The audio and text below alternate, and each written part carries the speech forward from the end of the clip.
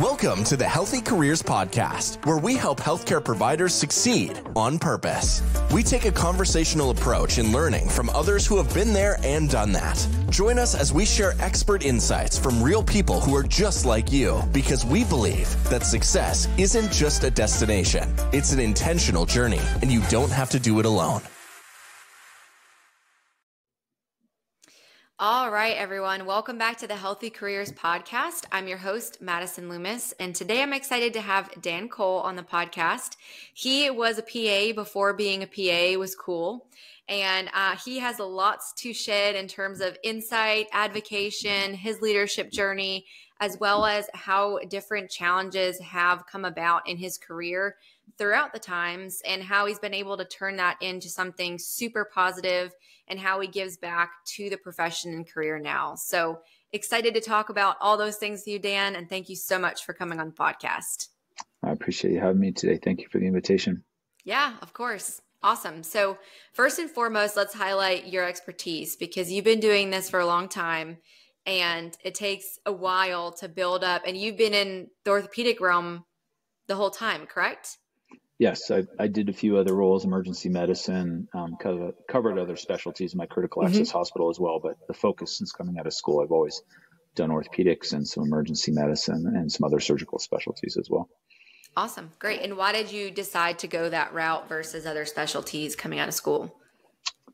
Um, you know, before I went to school, I was um, a river raft guide where I started doing wilderness medicine and swiftwater rescue. And Mm-hmm. After college, went in and did ski patrolling. I still ski patrol now, but I volunteer versus being paid staff. Um, there's a lot of mechanical uh, things in in the orthopedic side that I really enjoyed. Mm-hmm. But when I was doing my clinical rotations, um, I just really I, I, enjoyed the hands-on component. A lot of the injuries I saw between ski patrol and river guiding, a lot of them were musculoskeletal injuries. Yeah, and so um, and and a lot of them were things sometimes we could fix in the outdoors, like learning how to reduce dislocated shoulders, which was more common mm-hmm. in some of the older paddling techniques and stuff for rafting and whitewater kayaking. And we've gotten a little better and safer at now. Yeah, so. definitely. Whitewater rafting, I went for my first time this past year here in Georgia, which is nothing compared to out west at all. Hmm. But um, there was a, a place here in Columbus, Georgia, and I swear that our river raft guide hated me by the end of that trip because I the whole time we'd be going over like what is it the levels? Like there's level one level two level three level four. We'd be going over yeah. the tiniest rapid and i was just screaming my head off. And he's like we're literally just sailing. You're fine. Yeah, yeah. no it was, it was fun. I had gone to a summer camp in junior high and then when i went into high school they actually asked me to start working with them. So i started guiding when i was 15 16 very um, cool. and uh, kept doing it through college and that's how I met my wife through our outdoor program. And and my son's now back at our college at UC Davis, and he's actually mm-hmm. working for the outdoor program as a river guide as well. And all our wow. kids are full circle. Yeah, it's fun. Yeah, very cool. Great.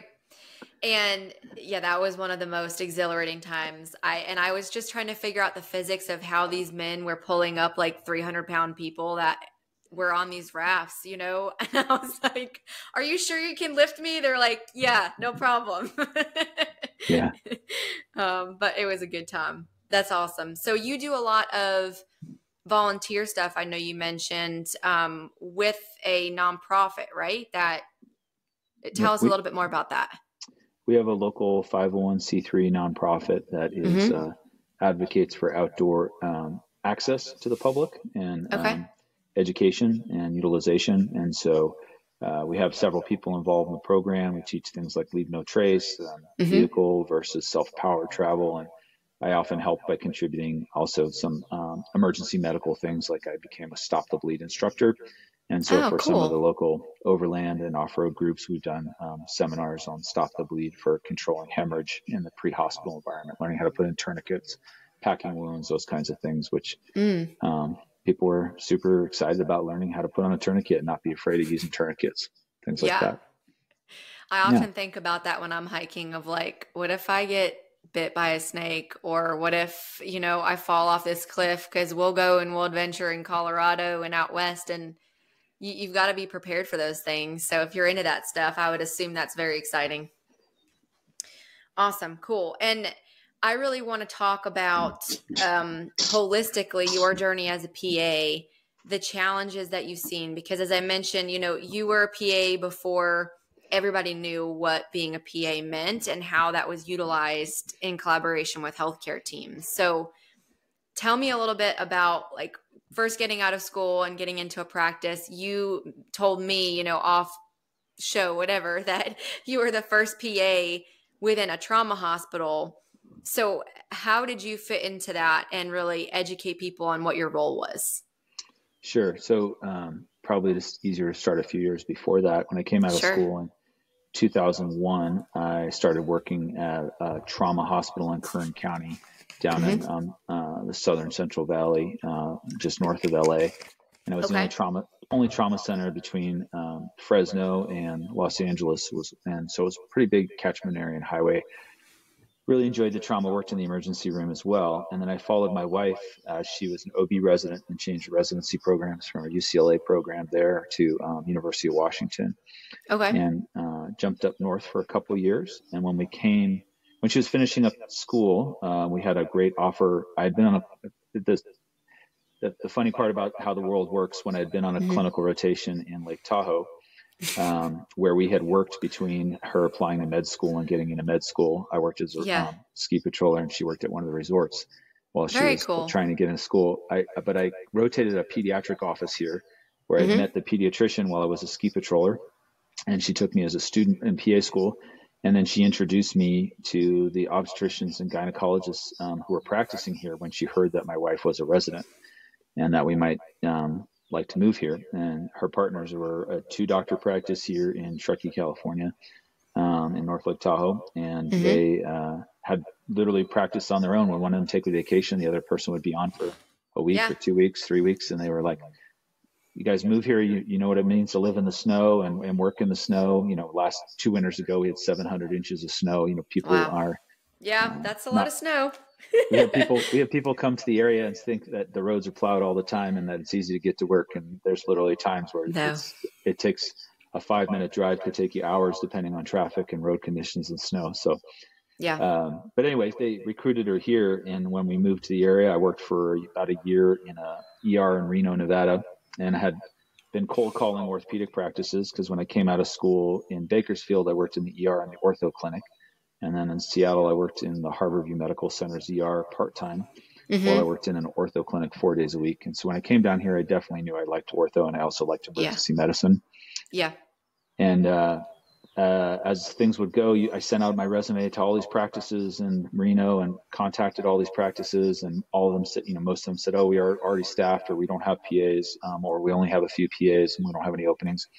But one of the practice managers gave my resume my CV um, to the service line director at the trauma center in the area, okay. who was looking to hire an orthopedic PA because they had a community staffed orthopedic trauma center, and it was a very busy trauma center. There's only four in Nevada. There's three in Las Vegas and one in Reno, and mm-hmm. um, so we were the only one in the north um, and the northern part of the state, and we catch from the Oregon state line, Idaho state line, and eastern slope of California into northern Nevada. And so we had okay. a huge catchment area. So they were recruiting, and uh, one of the practices, the service line, um, sorry, the medical director of the trauma service, Dr. Bray, and his practice used PAs. And they didn't have a residency program, but they had a very busy trauma center. And they said, well, how can we staff the service line? Well, let's hire um, a yeah. PA. And so um, I was the first PA that they hired for the orthopedic trauma service. Mm-hmm. I had to write. I literally wrote my own privileges. You know, when we talk about learning and experience, it was a real yeah. eye opener for me because they told me what my job was, and then I read my privileges and realized I couldn't do my job with the privileges I was given.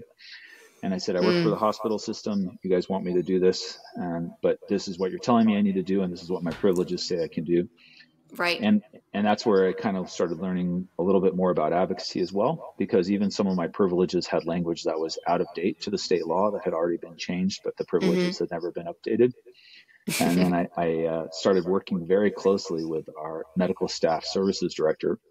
Okay. And she was fa- she was fantastic, and she taught me a ton about internal operations. And I showed her all the current state laws in Nevada, and we rewrote my privileges. They let me collect from other facilities, and I wrote my own and then I hired a partner within a year.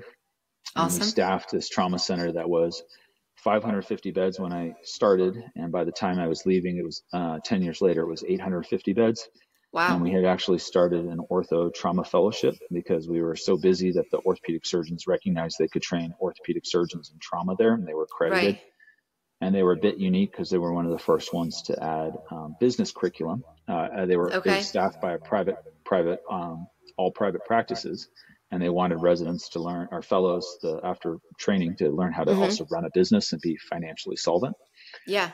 And so um, Nevada at the time the uh, PA Academy in Nevada was um, fairly inactive. It was hard mm. to get a hold of. Even the AAPA gave me contact information that was out of date. And when I asked him, I said, "Well, who do I talk to?" Because I'd been in California originally, which had a very active academy, and right. even in Washington, they had a very active academy. Sure. And they said, "Oh, well, these are the contacts we have for Nevada." I'm like, "They're all expired." and uh, and so These the people are nowhere to be found. no, and so the academy gave me a few other contacts, and eventually I did get in touch and um, started working with them uh, as uh, just a contact and asking them questions about practice in Nevada and what I needed to do. Yeah. And ulti- ultimately, um, I became uh, I, I uh, asked to run for a director at large position in the Nevada Academy of Physician Assistants, mm-hmm. and um, took that role. And one of the things they needed was uh, a representative to attend and listen at the state medical board meetings because um, even though the majority of the population of the state lives in Las Vegas, the medical board actually functions primarily out of Reno. Okay. Um, and we had representatives in both communities, but they needed someone to go to the board meetings, which I started doing. Mm-hmm. And um, that really introduced me to uh, some amazing people at the AAPA as well, because at the time uh, we had Anne, who was their state advocacy director, and we had uh, for the AAPA, and she really yeah. Uh, helped uh, many state academies um, and mm-hmm. members grow into those roles. She was fantastic, and she happened. unbeknownst to me at the time, but she lived about 90, 70 miles away from me.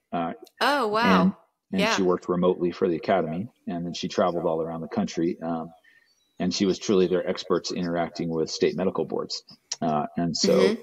Uh, she was one of my first introductions along with another uh, person her name is trisha marriott who was in their ad, um, reimbursement department It okay. was very very helpful for me when i had mm-hmm. questions mm-hmm. about finance and billing and state yeah. laws and so both of them taught us a lot and then we had some bad legislation and changes in our practice law in nevada that required mm-hmm. us to organize and come up with reasons why that wasn't okay and to to to try to um, begin to advocate more for the profession of the state. Yeah. Uh, and there was a private uh, university uh, in southern in Henderson, Nevada, teaching PA programs. Um, uh, but one of the things that really also helped the state of Nevada is when the University of Nevada Reno uh, opened a PA program. Okay. And the chair of the program is one of our past presidents of the Nevada Academy of Physician Assistants, uh, Brian awesome. Lau.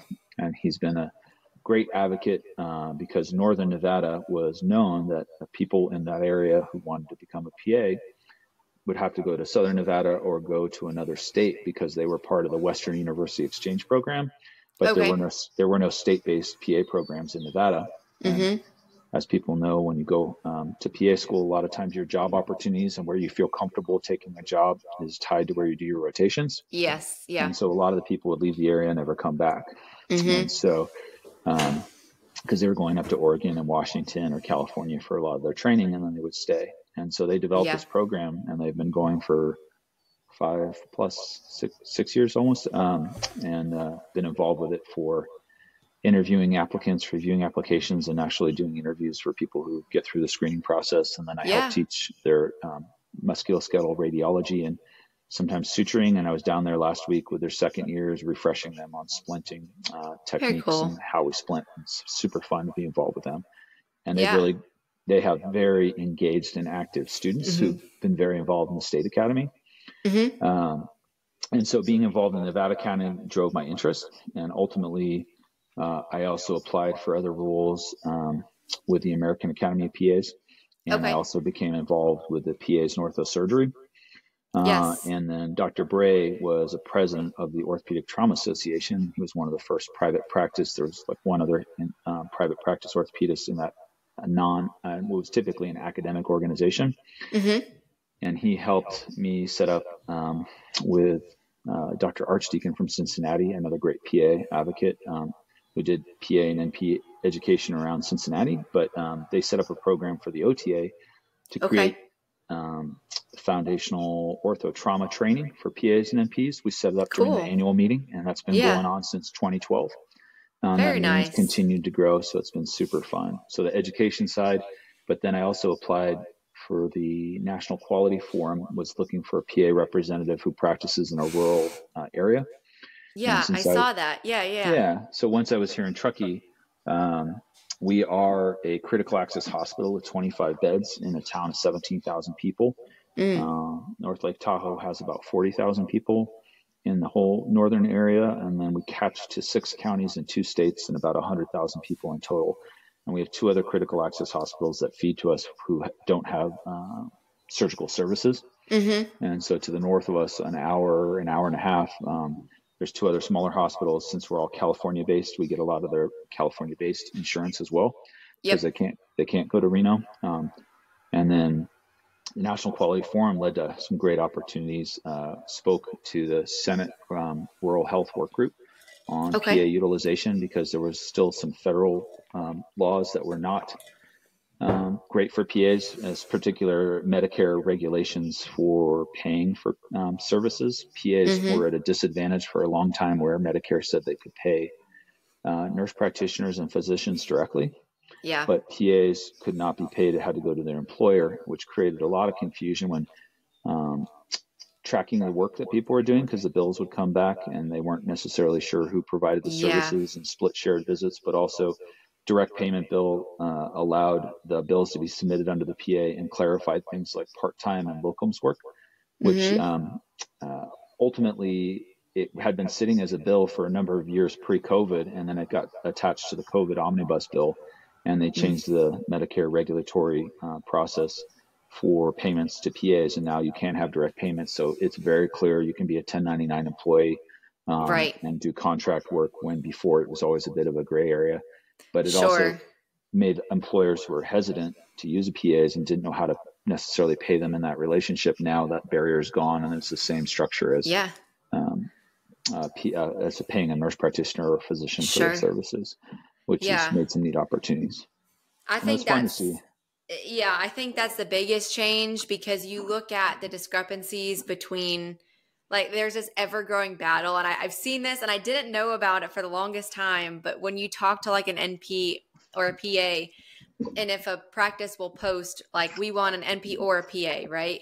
And mm-hmm. within orthopedics, more so you see PAs from a surgical component because a lot of times they have more of that training than, you know, an RN who maybe was in the ER or wherever else. But, um, you know, you look at the differences between it and it's like this ever growing battle between like, oh, the NPs are taking our jobs or the PAs are taking our jobs or they have more autonomy than us. And, you know, I had a somebody on this podcast, Tracy, who's great at explaining, you know, if you're – autonomously seeing patients and you're billing the same things as the physician, mm-hmm. then there's no reason why you can't be getting paid for that. And I think for a long time, PAs were seen as the undertaking rather than being a collaboration. And so mm-hmm. now it's like, you know, you can actually measure what you're producing. Before there was no way to do it. So not only when it comes to a perspective um, from a business standpoint to look at it and say, oh, the PAs are bringing in this amount of money or whatever, but you personally as a PA can say, hey, I've produced X, Y, and Z so that when you go for your raises or when you go mm-hmm. for a new job or for that bump up, you actually have data to prove like this is what I've done, which yeah. I think is so key for just, you know, that next step and making sure that PAs are paid and fairly. So it's um, to to tip my hat to my nursing and nurse practitioner colleagues. You know, my mom mm-hmm. was a mm-hmm. nurse, my mother in law was a nurse practitioner, a certified nurse midwife. But yeah, I think the reason they've been more successful at times historically is that they had often tied to nursing lobby groups, and the nurse practitioners were tied with them, and they had a very large voice, um, large yeah. membership, and large voice, and they were organized, very organized. And I mm-hmm. think that as the I've seen through my career uh, the numbers of PAs practicing increase. You know, when I came out of school, uh, I think there was closer to uh, 100,000 PAs, and now there's over 170,000 PAs, and we're we're yeah. teaching 10,000 PAs a year graduating, if I remember most recent data saying. Uh, yeah. And so the state academies across the country, if you look on LinkedIn, there's the postings about things like the licensure compact. We're seeing mm-hmm. this momentum build. We're seeing these state academies really promote the practice much better than we did in the past. You know, right. Utah Utah recently passed the law with uh, a certain number of hours. You no longer required a uh, collaborating agreement, supervising agreement. Mm-hmm. We're, um, we're seeing these multi-state compacts for licensing that now will make it so much easier for people to apply in one state and possibly mm-hmm. work in another. Um, I just recently I, I, volunteered with the Nevada Academy. I volunteered with the American Academy of PAs and the PAOS and OTA, but I just recently signed up in the last um, couple months. I became part of the professional practice committee for the California Academy of Physician Associates. Okay. And they have, um, we have the largest population of PAs practicing in the country from the last data I can recall. Um, and so it, they've done a, a, really good job of advocating. And one of the issues mm-hmm. actually is still a billing law in California for our version of Medi-Cal, uh, Medicaid is called Medi-Cal. Okay. And they have a billing policy that says um, we have we can be list, listed as the performing provider, but they still require that it be billed out under the supervising physician. And then in the last few years, they changed the law fantastically. We have now what are called collaborating agreements. So we've gone from being supervising um, physician um, physicians to collaborating physicians, mm-hmm. and, and, a big improvement in our um, reducing our administrative burden for the physicians that we're working with um, in the right. state. And yeah. that was a big victory with State Bill 697. Hopefully I say that right. But uh, that was because there's quite a few numbers and letters, but the Senate Bill um, sounds good to me. yeah, I'm sure. I'm sure my colleagues will correct me. They'll correct me if I get it wrong. But it, it, it really was a big change in the state of California. But now they have a proposal to fix um, the Medi-Cal billing issue, mm-hmm. and that uh, it be billed directly to the provider of the service. And to your point about invisible billing earlier with Medi- Medi- Medicare policy, this Medicaid policy in California makes it look like the bill, when it's paid, was done by the supervising physician or collaborating physician, um, yeah. not the PA. And so it's very hard in especially a small hospital like my own, where we're not mm-hmm. as sophisticated for our revenue cycle um, services sure, and sure. what we can do to pull out that data and see, see who actually did the work. Right. Um, and so then therefore they hide your work a little bit. And so mm-hmm. um, it's definitely a concern that when someone's looking at how much we're contributing and whether we're covering our costs or being profitable, mm-hmm. um, those types of things, um, they're not getting good information in, so they're not getting yeah. good information out. And that's something I learned a ton from the American Academy of PAs and being involved with them and their um, reimbursement committee. Uh, they have a Michael Powe runs the service line now, and Sondra okay. Palma and they are amazing resources. And when people are like, well, why do I want to belong to AAPA? I say just alone for the reimbursement and advocacy information that you can get that will make you more successful in your practice. You know, yeah. ultimately, in the, our hospital here in Truckee, the small hospital, um, I was brought on to help reorganize the inpatient orthopedic care while we were working with a private practice that ultimately the hospital bought. Mm-hmm. And I was the director of the service line before we integrated with the practice and okay. we um, we had to do a lot of work on tracking and understanding our revenue and our cost yeah. and um, it was very challenging you know because you recognized that uh, a lot of even our revenue cycle folks didn't understand how mm-hmm. to bill um, for pa and np services as well yeah and point out hey we've missed this revenue and they're like well we don't have enough resources even to go back and rebuild those things yeah and you're like yeah. really you're just gonna and they're like yes skip over it yeah yeah and and so in rural communities, you know, we really look at you know how can we use PAs and NPs to mm-hmm. bridge the access gap. And yeah. there's just so much now as the state laws have been evolving that are really allowing PAs and NPs in those areas to maximize their contribution. Yeah. And and the uh, us versus them uh, mentality you mentioned a little bit earlier. Uh, I do want to say I was just at the American Academy of PA's um, Executive Leadership Conference. Um, February oh, was cool. in La Jolla. Yeah. And one of the keynote speakers was they sat down with the nurse practitioners president and the American Academy of PA's presidents. And, um, and they fought. No, I'm kidding. no. yeah. no, just uh, literally two two big recliners, uh, big cushy chairs at the front of the room with a couple hundred people there who represented leaders in, across the country of major organizations using PAs and NPs. And yeah. had a conversation about how it's not productive um, yeah. to compete with each other, and instead, Mm-mm. how can we help each other both promote these roles for PAs and nurse practitioners? One hundred percent. Um, you mentioned uh, orthopedics, and I would there's definitely regionally in many parts of the country there are variations on what services NPs versus PAs are doing, also based on the local training programs and what they're producing yeah. and keeping in those areas. But a lot of people don't realize. I'll, I'll put on my hat. I was the medical liaison for the AAPA to the American Academy of Orthopedic Surgery. Um, yeah, so I, yeah. I recently termed out. Uh, but when advocating for PAs and ortho to them, I, I remind them that Orthopedics is the second most popular specialty now for PAs in practice. Mm-hmm. So family practice is about 16% of PAs, and they say between 9.5 10% of PAs practice full time in orthopedics, which is over 15 to 17,000 PAs. Yeah, and there's incredible. about 32,000 full time practicing orthopedic surgeons, depending on the data you read. Yeah, but um, over uh, the majority of them are over 50, and they've recognized that they are not going to train enough orthopedic surgeons to match yeah. the retirements that's coming, uh, the surge that's coming. And there's been a lot of conversations about how do we keep orthopedic surgeons in practice um, mm-hmm. uh, instead of just retiring. Can they transition to part time or reduce roles? Uh, how do we augment them?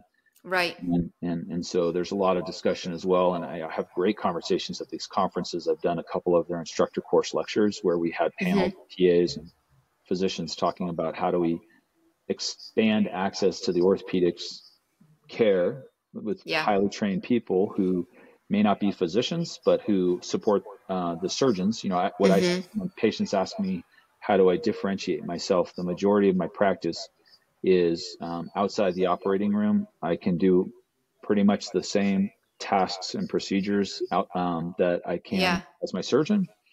And, sure. and, my, yeah. and my goal is that I should only be doing services that otherwise would have to be done by a physician or a surgeon, meaning we're not mm-hmm. being asked to do tasks that normally the medical assistants would do or right you're not a, yeah not a glorified yeah. medical assistant yeah or you're not a scribe um, yeah and that uh, what you know the one thing I, I can do surgical procedures under local anesthetics i just currently can't um, do things under general anesthesia nor do i say i want to i i love i've worked with over 40 orthopedic surgeons and 23 plus years of practice. And wow. I really, really enjoy um, working with a variety of different surgeons and different specialties and learning yeah. from them. And I say it 23 years in, if I'm still not learning every day, I'm doing something wrong. Um, yeah. Because uh, there's so much changing too in orthopedics. Like you look so much, at yeah these procedures with minimally invasive stuff that you can yeah. recover within you know two seconds after surgery and you're like whoa what do you mean i can do jumping jacks 10 minutes after my hip replacement right. um so it, it is an exciting time and i think too and i think we've talked about this a little bit you know within what i do we primarily focus within orthopedics and from my own standpoint number one, you know, transparently, it's because I have a family member that is an orthopedic PA. And so understanding from his standpoint, you know, about that and, and being introduced to that. But also, you know, I'm super into fitness and wellness. And so, as you said, when you're into that stuff, you see a lot of injuries of people that get hurt in the gym or, you know, I do CrossFit and I've seen plenty of CrossFit injuries. Um, I've had my own injuries, right? Where you go and, you know, you work with orthopedic and or PTs and, and of that realm of people and you think about the aging populations, right? Of people that you know, even in my gym alone, there's this hilarious guy who's like, "You keep working out because I've got two bionic hips and this and that," and you know, yeah. so many more people with that boomer population getting into the 60s and 70s. You know, they are going to need orthopedic care and they're going to need it to where they can get back to their daily activities and living. And I think that it's just such an interesting shift that we're seeing in medicine um, because placing PAs in orthopedics, placing physicians in orthopedics, there's a lot of people that you talk to are coming out of fellowship and they've got all these new fancy things that they're doing. But then you can talk to somebody that's 80 years old who's still a spine surgeon and they're like, I'm doing this until the day I die, you know? Yeah. Um, so I think it's just a fun specialty overall. I, I would say uh, I've had my own fair share of orthopedic injuries and surgeries, and yeah. definitely um, I joke at times with my younger PAs to be able to counsel patients. You don't have to have all the same surgeries as they do, um, but I've had quite a few of them. Uh, yeah. And, and so uh, we have a very active population here in North Lake Tahoe. I have 60, mm. 70, 80 year olds who are skiing five to seven days a week. Wow. They're downhill skiing, they're cross country skiing, they're hiking and biking in the summertime. Um, pickleball has been fantastic for oh. orthopedics. Oh, yeah. Yes, um, pickleball. Um, oh my gosh, the craze is unreal. we uh, our our local CrossFit gym is actually owned by um, uh, the the husband of one of our OR nurses, and so we always joke with them that it's job security, but we also some of the best, fittest, most yeah. active staff members and people in our community the, um, uh, are all members of the gym. You know, they do yep. a fantastic job, and so and they're very good about um, they prevention. Joke, they, yeah, prevention, and then also when people are injured, they're also very good about modifying activities, but keeping people right. able to do them. So, yeah. you know, I I think it's fun. We joke sometimes it's a bit unusual with our population um, mm. locally because they are so active and people move here to play.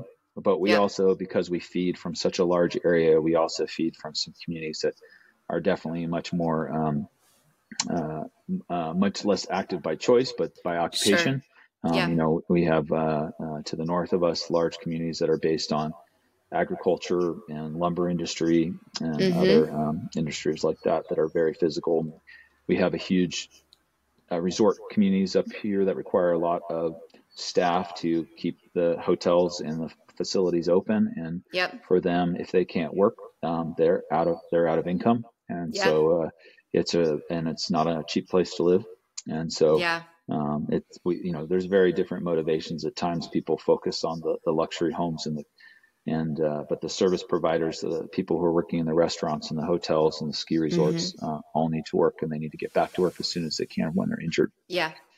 It's the same, honestly, where I live. I'm about an hour outside of Atlanta, and we're in a very rural area that is blue collar workers. So, you know, construction companies and manufacturing. And I think there's maybe two orthopedic specialty practices here and most of your specialty places it's few and far between it's like hey you got to drive to atlanta to go see that person you know sure. um, and from a talent acquisition standpoint it's also very difficult on being rural and trying to get the best of the best who want to come out here and work because it's like hey we're in this podunk town in the south and um, we've yeah. got a walmart and a few restaurants um, but it's it's interesting because then i recruit for some larger areas you know like you look at san fran or you look at tampa and it's like there's people lining up out the door because orthopedics is just so sought after um, so yeah, it's, it, it's, it's interesting, interesting, the disparities well and in some of those areas um, it's tough to recruit as well because they're so popular that they pay less. And so I know mm-hmm. some, I know some orthopedic surgeons who tell me in Southern California and some of these communities that they're which are very expensive and popular places to live, but they also come with a lot of competition for the roles that are there, and they come with lower compensation. Yeah. Um, and so it's uh, you know sometimes living in a rural area, maybe making a little less, but your cost of living is significantly less, and oh yeah, your quality of life may also be somewhat better. You know, we have a fellowship trained orthopedic trauma surgeon, two sports medicine docs, and we have a generalist who went through a strong program where he got a lot of trauma, foot and ankle surgery.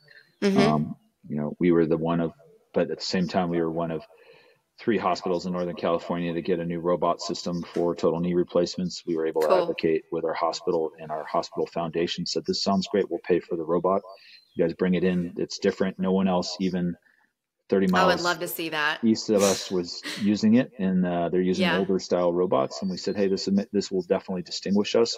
Mm-hmm. And uh, our surgeons recognize when things need to change, and some of them went and trained 15 plus years ago on doing direct anterior total hips with mm-hmm. a quicker, shorter recovery time. The results are the same in a year. Everyone needs to know that, but the recovery time was quicker. And patients had um, mobilized quicker and were happier and, and, they've been doing it longer than anyone else in our area so it's been fun yeah. to see that they can be that agile as a small practice yeah. as well yeah definitely so yeah, yeah, i think there's and kind of back to what you were saying too with the rural thing and then the NPs, like that is the majority of the practices out here is there's a few MDs and then you go and you don't see an MD. Like their their waiting lists are out the wazoo. You see an NP and some people have a problem with that and I'm like, I don't have any issue with that. You know, like I'd rather be able to spend 30 minutes and really talk through what I'm going through than feel like the doctor's running in and running out because you're one of X amount of patients and Sure you know, especially in primary care, family medicine.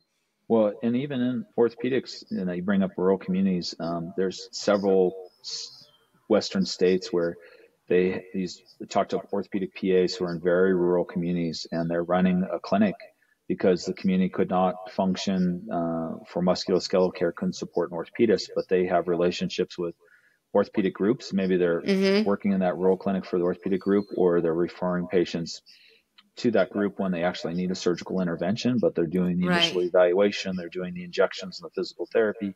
Mm-hmm. They're saving those people the travel time. And then when they do send them to an orthopedic practice, they have a package of someone who's ready for surgery and understands that they've done everything else that they can yeah. before surgery. And, or they have surgery and then they do their follow up care in their community. One of our mm-hmm. orthopedic surgeons here in our practice um, stopped operating and then he reduced his practice, but for the last 15, 20 years, he's been practicing 90 miles north of us one day a week.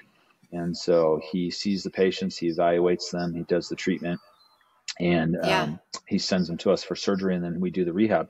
And he wants help in his practice, and it's a non-operative practice. And he, he's, you know, he's talked about, well, why not? Why don't we have one of the PAs coming there to help him as well? Because we could do out outpatient, we can do very yeah. much the same things.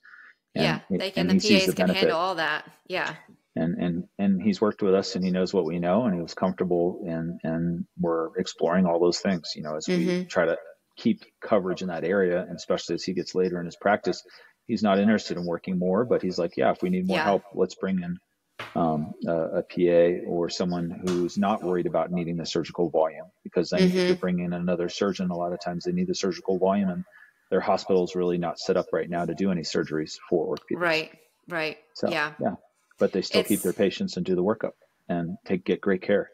Yeah.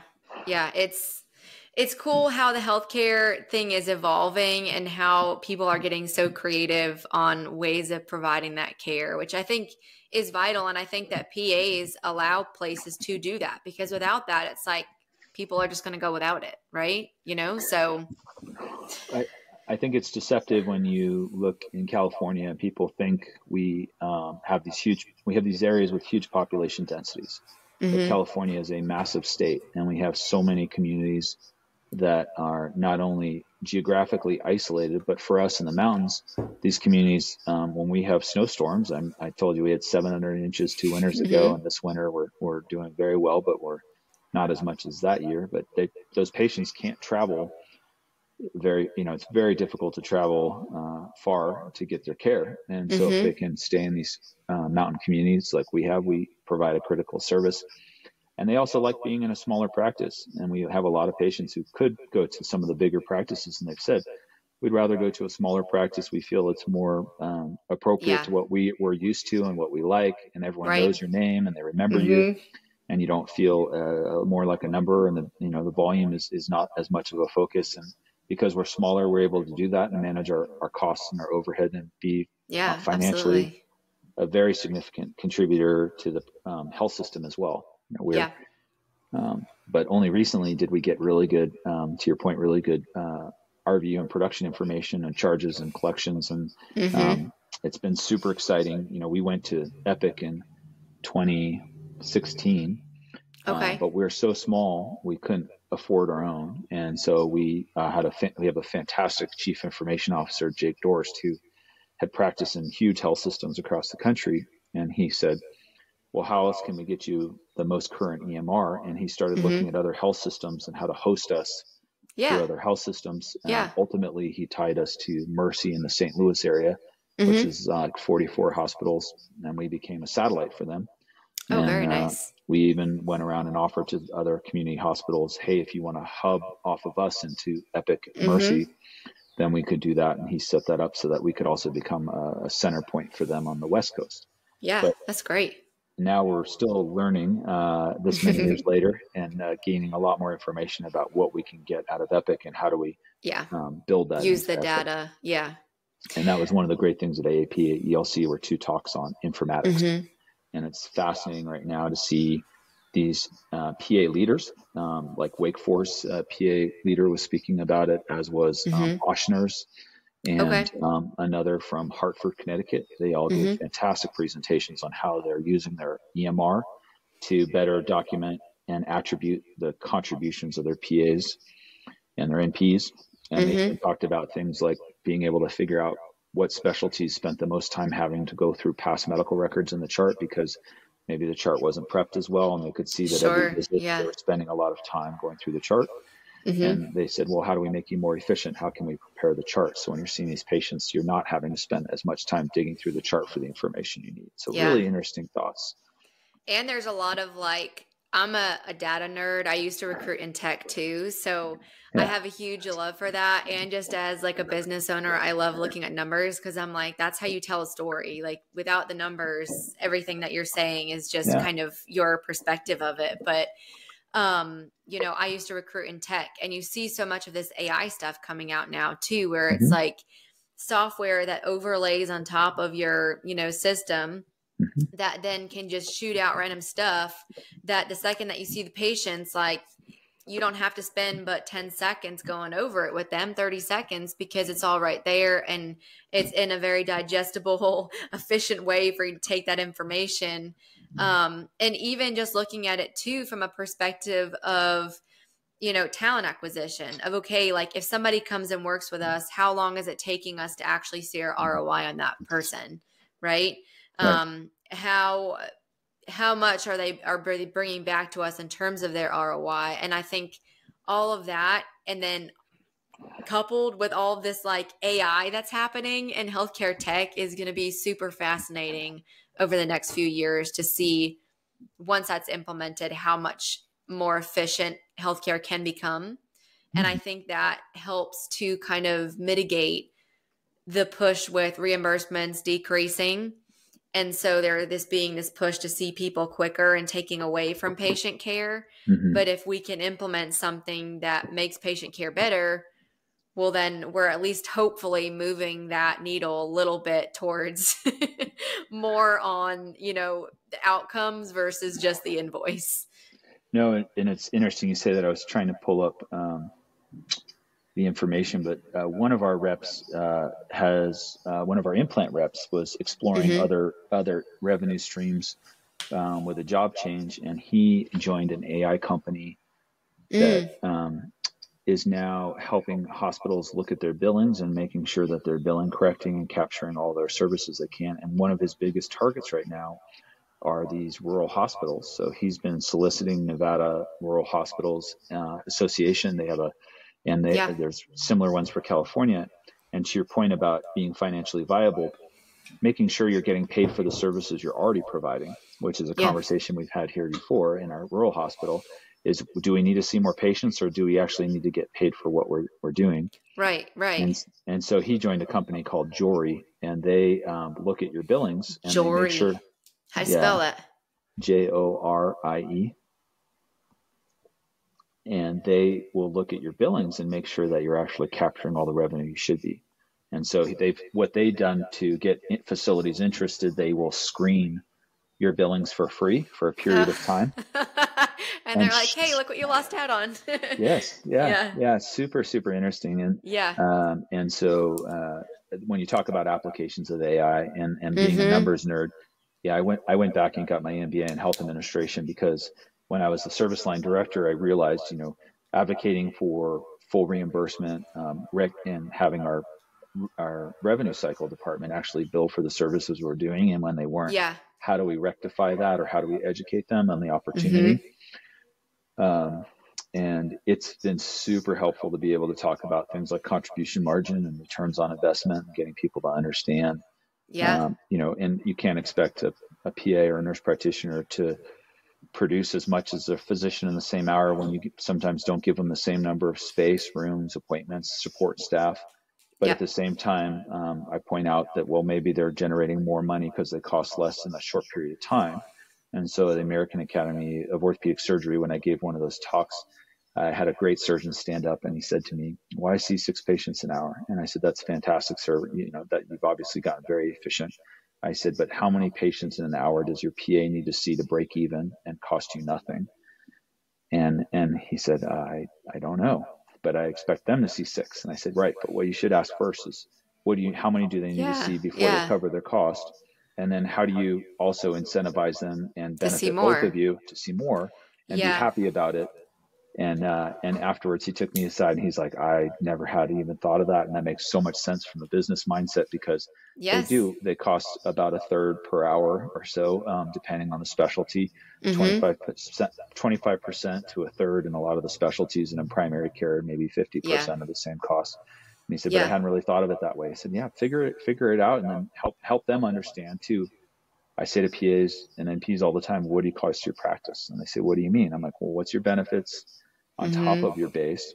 What are, what are they paying for your malpractice? What are they paying for everything else? Your licensing, all those things, add it all up, and then that's how much you cost them per hour if you divide it over that year, and then you know figure yeah. out how do you cover that, and then maybe how do you have a conversation of hey, I'm I'm, I'm making want, more. I'm making yeah. more. I'm covering my cost, yeah. which uh, you know, or I'm I'm I'm multiplying revenue over my cost, which in yeah. like my in my specialty, at least in orthopedics, it's very realistic that you know if yep um, I make the OR efficient, we flip rooms. That was something we never did before with our surgeon, and literally today we the OR can't keep up with us doing.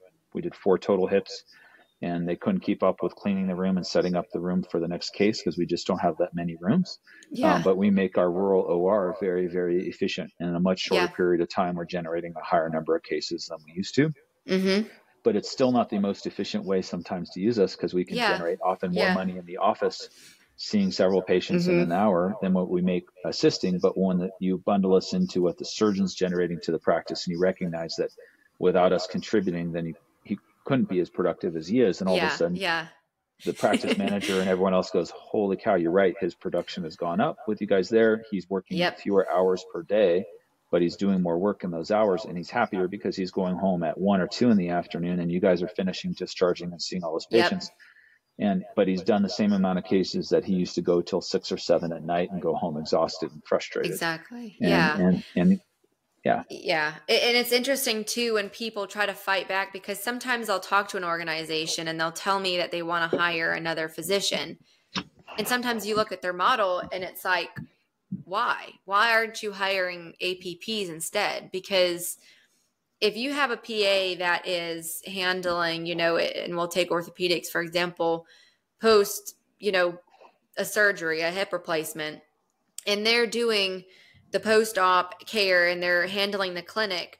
I think where a lot of places go wrong, and when I see from a talent acquisition standpoint, when I'm like, hey, yeah, I understand that you haven't utilized an agency recruiter, that you haven't looked at the data, but you know i'm seeing that you're seeing a 50% growth but your average tenure is less than two years.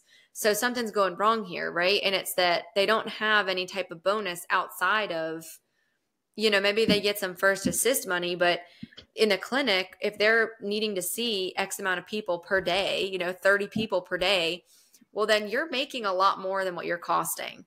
And you've yeah. got to be incentivized and motivated for that. And in any other industry like you look at recruiting.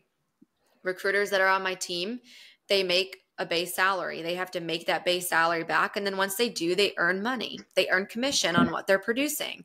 Right. You look at any other position where money and profit is being handled, they're being paid for it. And I feel like healthcare professionals finally like having that data can say, hey, wait a minute, you know, how come I'm not getting paid more than $140,000 when right. here's what I'm making the practice. And if I weren't here, oh, by the way, here's what the physician would have to be handling. Um, right. And they wouldn't be able to be handling more of the higher paid things like surgeries, etc. Sure. And, and what I would say is, um, there's a, at least in the orthopedics, especially world in 23 years of practice plus, yeah. um, I've watched and they talk about it in the orthopedic professional literature as well, we, we, mm-hmm. we have a major transition going on our surgeons are becoming employed. Uh, the MGMA says nine out of 10 graduating residents wants to be employed, not own their own practice and operate their own practice. Um, but historically, in a lot of the private practices, well, more of an eat what you kill kind of model. Yeah. These, the the harder you worked, the more you made. Mm-hmm. Um, and now, uh, when they're becoming employed providers uh, in in health systems and organizations, um, sometimes those organizations are good about maintaining some incentives so that people do who choose to work harder do get paid more. Mm-hmm. But sometimes the surgeons will point out, and I've you know when they're in a salaried model, that there's not a lot of incentive to work harder if you're getting paid Mm-mm. for doing less. You're getting paid more for doing less work, and then when you do more work, you're not necessarily getting paid a lot more. Yeah. And yeah. and so um, I think that's a that's a really challenging thing. And when a lot of health PAs are employed in large health systems, they really struggle to differentiate the specialties. And that's very apparent because uh, they bundle um, orthopedic PAs into, oh, well, our primary care PAs are making this much money. Right. But I, two different I work, things. I work another, yeah, yeah, I technically work another 50 to 75% on call. Um, right. Um, that, you know, there's five of us staffing our service. If we worked hourly, they need eight people to staff what we do with five. And, yeah. and, and yeah. so how do we recognize that? And so um, I wouldn't phrase it, you know, originally started out mentioning, you know, hiring another PA versus a doctor. And I think in orthopedics, at least right now, we don't have an excess number of surgeons, um, especially mm-hmm. in my rural areas. So when I talk about people practicing in a rural environment, but it applies just as much in an urban environment, is how do yeah. I make the doctors as efficient as possible? As possible. And, yeah. And, and, I'm also professionally satisfied. And how do I, how do yeah. I see these, do the things that I like to do? And so I started a, a nerve cold treatment clinic where I do all the cold treatments for postoperative pain. So after surgery, patients have uh, lower pain, but also patients who aren't good surgical candidates or patients who've had a total knee or joint mm-hmm. replacement before. I can do nerve treatments to reduce the pain if they're a smaller population that sometimes still have ongoing pain. Yeah. And that yeah. for me has differentiated me. We joined the Own the Bone Association for osteoporosis recognition and prevention. Mm-hmm orthopedic practice, it's ripe. We see these patients who go, wow, you you had your second hip fracture and you've never had a DEXA scan, or you know you you have known osteoporosis in your chart and you've never been treated for it, and we're seeing you for a fracture. Okay, let's call this out to our, our colleagues who can just see this for you in primary care or endocrinology, yeah. Or some orthopedic practices um, that are very interested, even at academic centers they're using PAs and nurse practitioners to run their osteoporosis clinics. Mm-hmm. And they're not only treating fractures, but now I talked to some of these PAs and NPs, and they're now doing bone optimization before patients have joint replacements. And they're like, hey, you have really bad bone, but you hit, need a hip or knee replacement. We're going to send you to our osteoporosis clinic. They're going to treat you for six months or a year and get you ready for surgery so that you have a better result after surgery. So the, yeah. the opportunities there are, are, are hmm. fascinating. Yeah, I um, haven't heard of that. But That's cool. A pitch, a pitch again for like specialty organizations and advocacy, yeah. right? The the American Academy of PAs does a very good job of a salary survey um, across yep. their population, and they they put in information and they have orthopedics in there as well. But the PAs in orthosurgery, the subspecialty, the largest subspecialty for surgery at all, and all in, in uh, mm-hmm. uh, PA practice, they have their own survey that goes into a super high level dive um, okay. RVU generation, different compensation models, call obligations, clinic structures, what procedures people are doing. Yeah. You, um, even things like, does your practice even show you what you generate? There's like 50% of practices don't share. Don't, they won't because they don't, don't want you to see. they don't share what you're generating in RVUs or reimbursement. You know, a lot yeah. of practices just roll your call compensation into your base. And right. then others others pay for it. And so right, yep. Um, they uh, collect this data over their, their membership, which is over, I think, 2,500 PAs now or more, which is um, fantastic. It's a great data pool. And then mm-hmm. if you're a member, you get that as part of your membership, or if you're not a member, you can pay for some of that data as well. But it's yep. the way they drive membership as well. But it's a huge service because you can look through that and say, yeah. you know what, our practice has the opportunity to do this, or we do this right. well. Yeah. Sometimes when I interview at other places or I've looked at other jobs and I've been like, wow, this is tells me my I'm doing well at my job with for this yeah, benefit exactly. or these things, and oh maybe we can ask them to do this and everyone would be a little happier. Um, yeah, so, I see that a lot from a talent acquisition standpoint. Like a lot of people and I don't mind it, right? Because that's why we're here. But people will reach out and they want to know, like, oh, what's the pay, or like, you know, what is the bonuses and what is the structure, or have clients that they're like, hey, you know, we can't seem to retain our PAs, and I'm like, okay, well, what's your structure? Like, how are they paid? Oh, well, we just give them a flat salary. And I'm like, okay, well, they're expected to see a certain amount of people in the clinic. Yeah. Are they on call? Yeah. Are they first assist? Yeah. I'm like, okay, like I I know why. yes. yes. Um, that's, that's always so, a question when I get is like, is this a new position or is this a vacated position? Yeah, exactly, exactly. And I yeah. mean, some places have figured it out and they've been able to retain talent, and I think that is the best way you can do it is to educate yourself on like, okay the places that are retaining. I mean clearly your practice i would assume you've been there for a long time. They're treating you well enough for you to stay there and orthopedic pas are in demand you know? So because everyone has figured out like oh crap you know there's not tons and tons of orthopedic surgeons we can hire.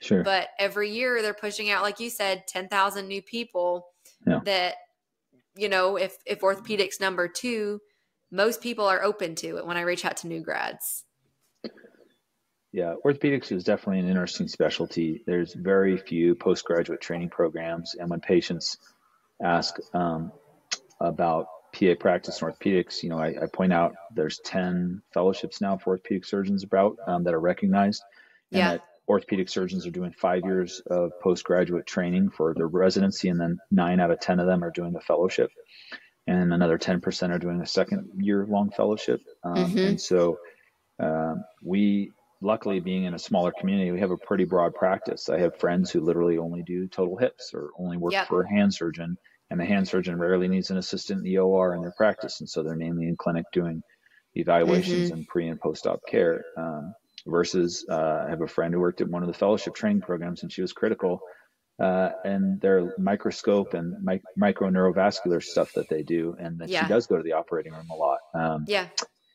And and the you mentioned the you know the data information. Like I had a really interesting conversation last week with um, Trisha Neen, who um, was at Sullivan Cotter, and she helped Sullivan Cotter set up a advanced practice provider database that's like eight plus years she was there and mm-hmm. now it's being run by a pa named zach hartzell and they do an amazing okay. job of aggregating practice information from major health organizations and systems across the country and so they uh, they now uh, have one of the largest banks of PA practice information. Hmm, yeah. Which interesting to me. They have great information, but when I look at it, sometimes I think about comparing that with even like the PAOS survey, and you can tell a lot of the information they have is from health systems, but not yeah, necessarily what private, private practices. Yeah, it's and, so and different. still very large orthopedic private practice groups in mm-hmm. many parts of the country that pay very differently for their yeah. PAs and nurse practitioners.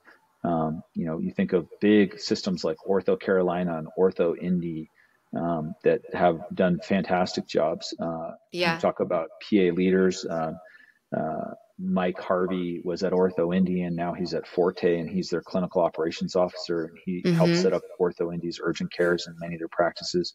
Yeah. Camille, Camille Carey is at Peninsula Orthopedics in Baltimore and he's their CEO. He's now gone wow. into being the practice CEO and he, uh, I run into his PAs and they really recognize the advantage of having a clinical leader um, uh, and that he really mm-hmm. recognizes and values their contribution to the practice. Yeah, and yeah. he's uh he's he's gonna he'll he'll be speaking at American Academy of Orthopedic Executives um, at the end of April with Mike Chicago. Harvey and yeah, and Dennis Rivenberg. Um, they're all going to be speaking about um, how to optimize use of PAs and and PAs yeah. in your practice. Good, so, good, yeah. yeah. It's it's I really neat to see. that. you are. I was going to. Okay. I'm trying. but, uh, yeah, I know. It's it's so hard nowadays to escape, you know, as a small business, I taking time away from recruiting and mm-hmm. providing for my clients, but I'm hoping sure. that next year they're actually in Atlanta, so they'll be in my backyard, so really? it'll be much okay. easier for me to to yeah. come and go to that. Yeah. Yeah, it was uh to your point, you know, it's it is tough. Uh we get we we need 50 hours a year as a CME to maintain our national certification. Mm-hmm. But um, for instance, my employer here gives us 40 hours of covered time off to do that. Oh, awesome. Um, and, and, so that's fairly good. Uh, uh, but uh, they recently reduced it to 24 hours. And I said, You want us to be board certified, but you're reducing us to 24 hours. Because they said, Well, we're raising other people up who hadn't had that same 40 hours, which I had advocated yeah. for when I was a director. But I drove myself to San Francisco for the American Academy of Orthopedic Surgeons. Oh, yeah. How um, was that one this year? It was good. It was in San Francisco. And it, um, definitely a lot of logistics for people and people coming in to the city. And so um, mm-hmm. um, next year it's going to be in San Diego, and San Diego is always one of their highest attended events. And so I know I love San Diego as well. Yeah, yeah. I drove from that conference to La Jolla to go to the AAPA conference, and I did that all with on vacation time. I had to burn my own vacation time to get the CME and, and use the time. But I enjoy yeah. that, you know. But it's you talk about the challenges as well, right? We yeah, that's not good. To be board certified, and we want our PAs to be board certified, but we know we're not giving them enough time off to actually maintain their board. Do it, yeah, yeah. Come on. Yeah. So that's always one of those interesting challenges as well. I think they should give you that PTO time back. If they're listening, you should give it back. yeah. yeah. But I'm just I, kidding. I am hoping to go to AAOE for the first time, actually, ever for me uh, this oh, year. Oh, awesome! Yeah. yeah. I've heard it's fantastic. I had um, one of my clients who went last year when it was in Florida, and I'm kicking myself for not going to that one because it was a trip to Florida. Right. Um, but yeah, this year I won't be going. Chicago is just a little bit too far for me with everything that's going on. Um, but I've heard it's you know tremendous, and there's a lot of people that go to that and who have actually. I guess I don't mean to speak ill on any organization, but have said they enjoy that more so than the AOS, which I know AAOS right. is a little different in terms of who goes, but right. I mean, um, for for someone who wants number stuff on HR and employment like you do, that's yes, AOE. Exactly. Yeah. For someone who wants clinical, current clinical practice things, and exactly AAOS is helpful. And then what's really nice is um, they've reorganized the media, meeting. Doctor mm-hmm. Matt Provencher is the chair of the annual meeting committee, and he recognized okay. some of the challenges, and they shifted it in the week and took it off the weekend. And then mm-hmm. they they bookended specialty days last year on the front and the end, and this year on the end to try and shift the load. And so, uh, not only did I go to the annual meeting, but I also was able to attend the OTA and the Foot and Ankle Society's combined specialty day meeting at the end, which was awesome. actually a fantastic um, yeah. day. So, cool. Yeah. Yeah, it sounds like you do a lot of conferences. I'll have to message you after to see which ones you you think are the best cuz I'm I'm just now getting into that since my yeah. business I started, you know, 2022 end of that year. I'm just now getting to a point where I'm like, okay, I can go and for a few days network because it gets to a point too where you want that FaceTime and you want to learn from the people and, and what right. they're doing and what are the trends and all that. So um yeah, I'm glad that you're having the chance to go to that. And you'll have well, to go next year too in Atlanta. yeah, maybe. I know I, I, enjoy the not only the educational, but it is again to your point, it's the networking and yeah. um, the education side as well. I like teaching for the PAOS and the OTA. Mm-hmm. I taught for the AOS and the AAPA. We did the radiology and the injections workshop last year in Nashville when we were both yeah. in Nashville. Um, yeah. That was a great opportunity. Mm-hmm. And so, um, uh, I enjoy that part as well. And it's really where I've actually built more opportunities, like things that led to me volunteering with the AAOS. And I was on the annual meeting committee um, as a, a volunteer because they don't even have it in the bylaws yet for a PA to participate, but they said we, we want input. And now yeah. I'll be um, volunteering for a subcommittee where they're looking to develop new curriculum for the annual meeting. Very cool. Um, yeah. Yeah. So fun, fun things like that. I, and I think at this point in my career, it's I super enjoy my clinical care, but mm-hmm. at the same time, I find it really helpful when I'm like training at the local PA yeah. school or yeah. helping practicing PAs at these meetings when we do these sub meetings. I really enjoy that part of the education mm-hmm. as well. And, getting them up to speed and getting them confident and competent and so they yeah. can feel like they're getting the best contribution. 100%. Yeah, no, I think yeah. it's fantastic. All the volunteering you do, you're you're much more altruistic than I am. Makes me feel bad about myself. awesome. I sometimes I feel like sometimes it's a bit self selfish because I do get I, no. I, I enjoy it. Yeah, yeah. If you enjoy it, and I think that all goes towards advocation as well. Like I always say, advocation is not always standing outside of the White House with a picket sign. It's sometimes yeah. just doing what you can with where you're at and I think you've you've proven that point, right? That you can always teach somebody something, learn from somebody else, and if it's all going towards the greater good of making people aware and, and pushing for things that make sense, then you're doing advocation in that. Yeah. Thank you. Awesome. Yeah. Cool. Well, this has been fun. I have enjoyed learning from you and all the things I, I, truly didn't know about some of the stuff you were talking about. So it's been helpful for me and I'm sure for listeners as well.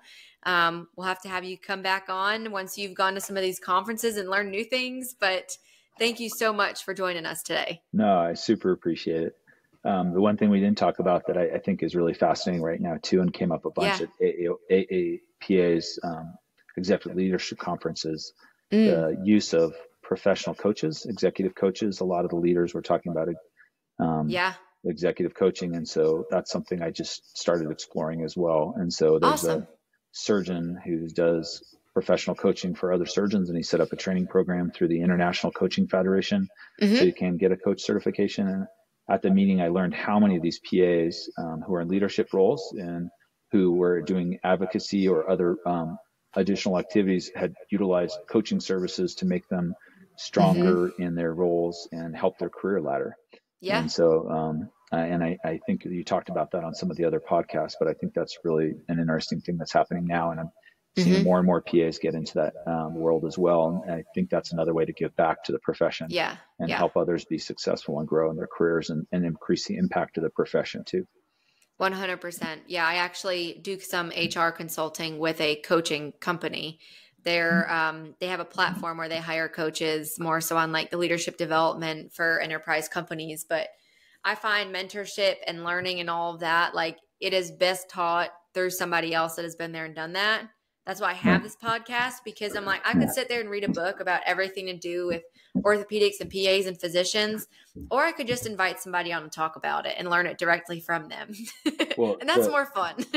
the person I mentioned who's retired from Sullivan Cotter, Trish, she set up a consulting business where she does do yeah. some coaching and, and organizational consulting. And she coached um, the, the lead APP at Ochsner Emily okay. and Emily has now set up at Ochsner. They now training internally their own coaching in their yeah. uh, PA and NP leaders, and so that they cool. can. In, she increased their um, satisfaction and career ladder and um, development of their APPs, um, and so they're yeah. developing coaching staff in the APP department as well super that's fantastic stuff. anyway yeah. it's another whole other thing to talk about no i know i love that stuff too from like performance yeah. management with like planning mm-hmm. for who's coming up and training and promoting within like i could talk right. about that for hours but and the business and the business world is so much better at healthcare but there a lot of yeah. organizations are recognizing that pas and nps as clinicians can make very good um, clinical leaders with the insight of a, a perspective of a clinician 100%. And, and uh, you're seeing places like Stanford who developed their own fellowship and leadership mm-hmm. institute mm-hmm. through their advanced practice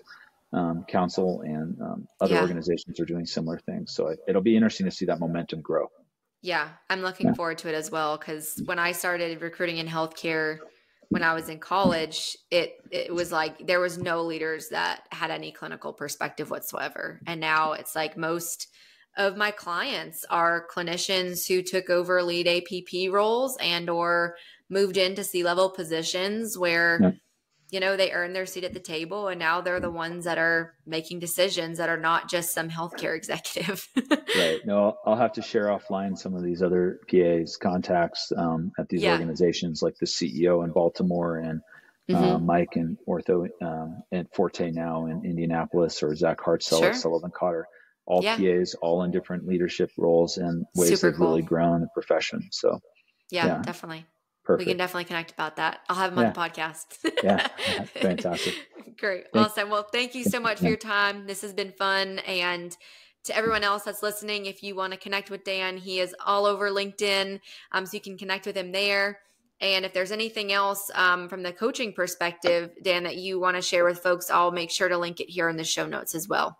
Perfect. Yeah, I'll, I'll right. get you the information for Surgeon Masters, which is who yes. does the coaching. Perfect. Yes, I've actually heard of that. Perfect. Yes. Ah, okay. Perfect. Awesome. Take care. Thanks. Thank you so much. bye bye. Thanks for listening to the Healthy Careers Podcast, where we provide a platform for you to ask hard questions and get real answers. If you enjoyed this episode, don't forget to subscribe and share it with your friends. Stay tuned for more episodes every other Friday at 7 a.m. Eastern.